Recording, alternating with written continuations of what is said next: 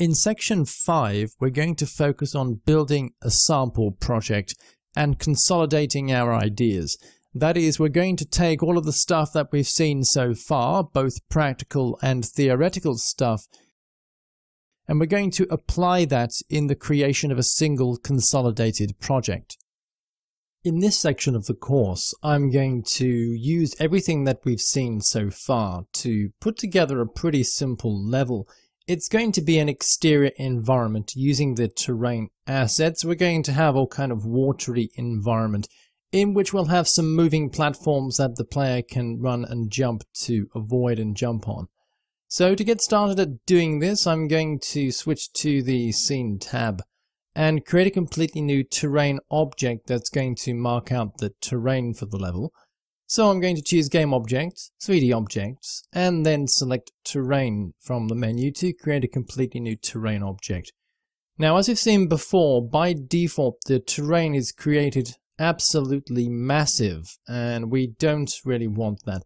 So I'm going to switch to the cog icon to control the properties for the generated terrain. And you can see under the terrain width and length section here that we have a pretty large terrain. So I'm going to reduce this down to about 128 by 128. And remember, these units are measured in meters here. So this is 128 by 128 meters, and that should be absolutely large enough.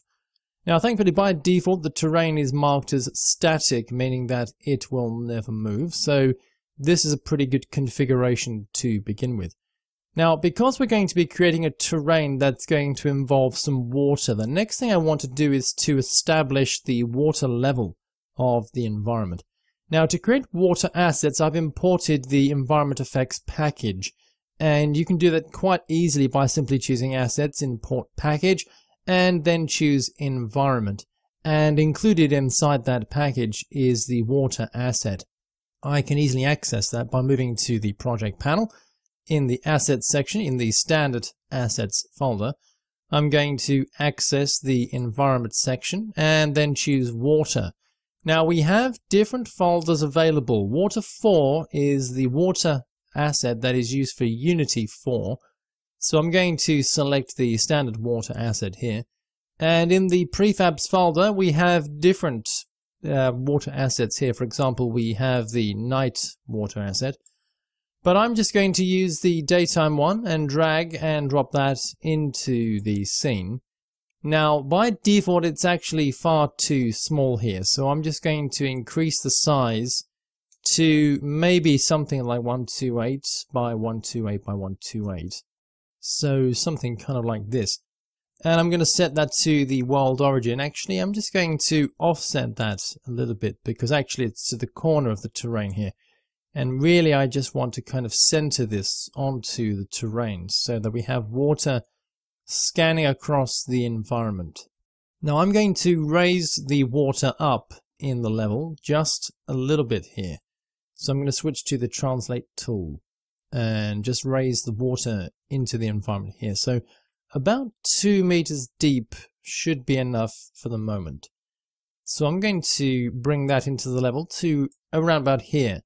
And now I can start sculpting the environment. So I'm going to select the terrain mesh here and then switch to the sculpt tool on the left hand side. And I can kind of use my brush to push and pull elements of the terrain here.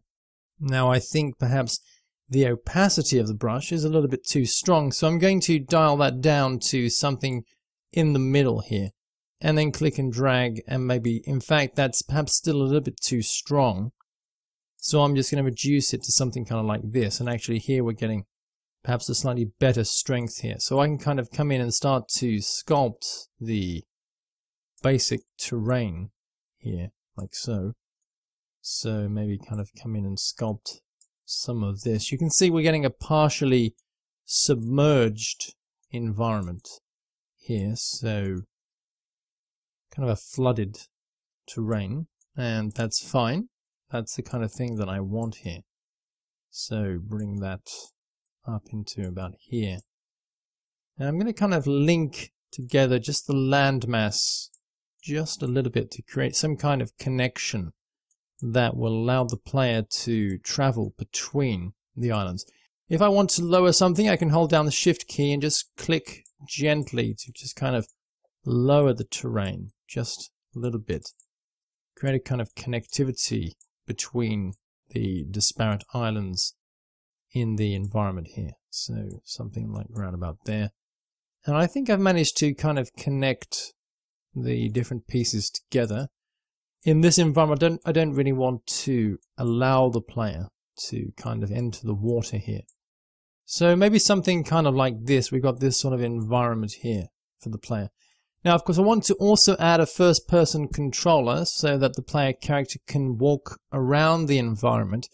So I'm going to go back to the assets folder here and access the standard assets and then simply choose characters. So I'm going to access characters, then first person character, then in the prefabs I'm going to drag and drop the first person controller into the scene. Now you can see that in comparison to the environment it's absolutely tiny. It just goes to remind us how large the environment is here.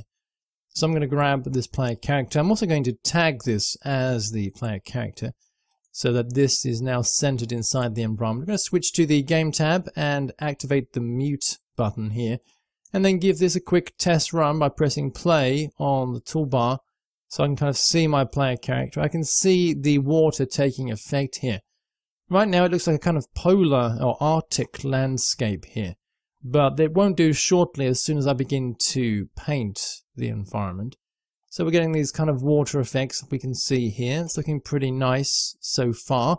Again, notice it's a daytime scene. We're going to have the ability later in the next section to create a day and night cycle. But in reaching this far, I've managed to pretty quickly establish a base terrain here, and things are looking pretty good.